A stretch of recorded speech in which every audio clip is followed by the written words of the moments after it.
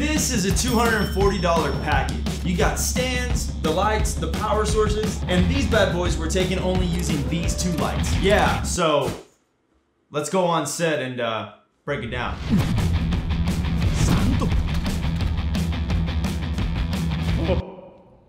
You, it worked? Hey Tyler, it worked, man!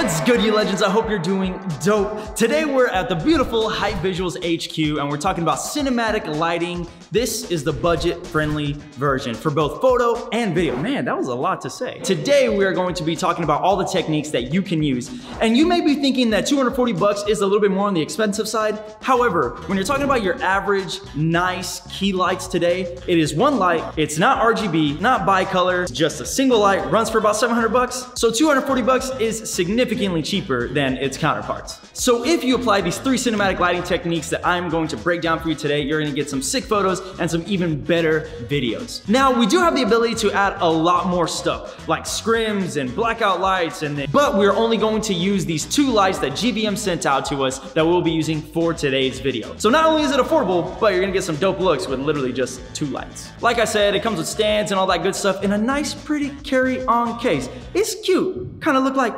Snoopy. Snoopy? Yeah. I love Snoopy. Wait a minute, I love Snoopy too. Rush Hour 2 reference. Snoop. All right, Tyler, don't look at me that way, bro. Let's let's do the lights.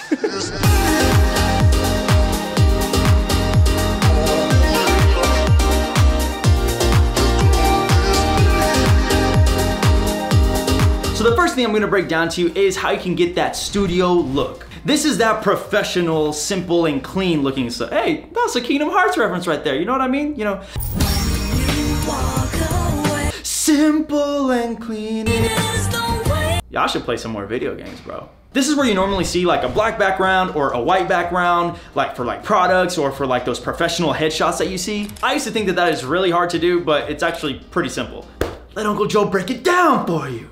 I don't even know what movie that's from, but we're just gonna go with it like it is from one. Step one, you need to add a 45 degree key. Now your key light just means that it's your main light source, okay? And then 45 degrees, just a little bit to the front and a little bit to your right, call it a day. So these bad boys do full RGB, but because of what we're shooting for, that real professional look, I'm actually going to switch it into the bicolor mode, which allows it to go all the way down to 3200 Kelvin, which is like your lamps in your house typically, like that tungsten look, that orange look. And it goes all the way up to 5600 Kelvin, which is pretty much the color temperature of the sun. Because I want that clean look, I'm gonna go ahead and put these bad boys at 5600 Kelvin. Now there is a second step to this, but I wanna give a quick side note that the majority of all your YouTubers that you watch, they start off with this 45 degree key. It is extremely common, so when in doubt to light anything, just use this and for the most part, it's probably gonna look pretty good. Step two, you gotta add a 45 degree fill. So basically, all you're going to do is the same thing that you did on one side, you're gonna do it to the other side. I suggest bringing down the power of that second light a little bit lower. If you want it to be cleaner, you can just turn it up more. You're gonna have to play with it so there's not any hot spots like on people's cheeks or whatever, just like in this photo. In some cases, people will change the color temperature to kind of contrast it so they'll put like an orange light, but in this case, I'm going to leave it at 5600 Kelvin on both sides just so it looks really simple and clean.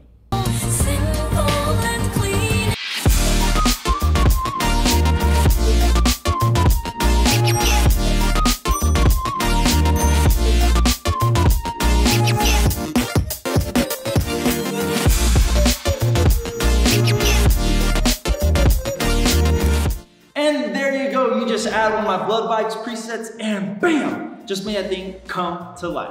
All right, on to the next one, baby.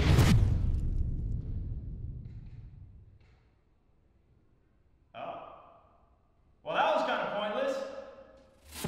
All right, so now we're getting into some color stuff. Now, this is my favorite stuff because these bad boys can go full RGB and it gives you full control over the saturation and the brightness and all that good stuff. We're also going to be dipping into some top-down lighting, which is just some fancy word for saying put the light right above your subject basically. And then just add another light to the side of your subject. This is subjective, so wherever you wanna have it, but just move it off to the side. And just make sure that they are two different colors of lights. Typically, I suggest something that is on the opposite side of the color wheel, so Teal and orange is a really popular one, just like all the other basic people out in the world, including myself. I also did this in a music video and it came out so sick. What good is it to travel and make it worth your while when all you see is life in my profile? You're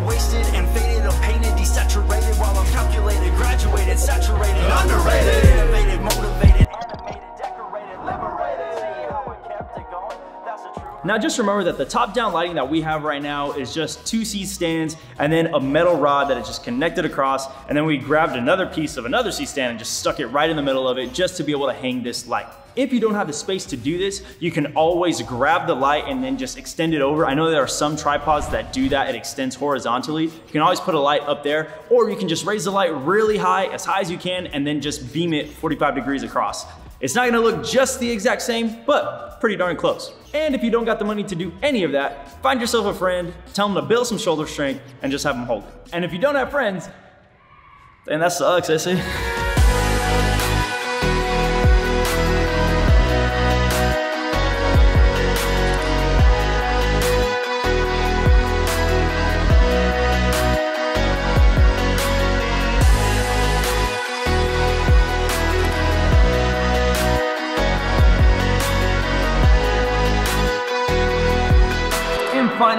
have the third technique, which is you use them as practicals. And I'm gonna put that in all out quotes. So basically every time you watch a movie or any kind of media that is professional, all the lights that you see are typically not real. You can probably see a lamp and it might be casting some light, but they are probably adding another light next to it to make it seem like it's lighting more than what it is. So when you see a night scene, the moonlight is not actually moonlight, it's just a blue light outside. When you see a living room lamp, it's not a living room lamp. It's actually an orange light off to the side that is casting like if it is a living room lamp. So basically you're just doubling up on the light you already have on with something that you can control.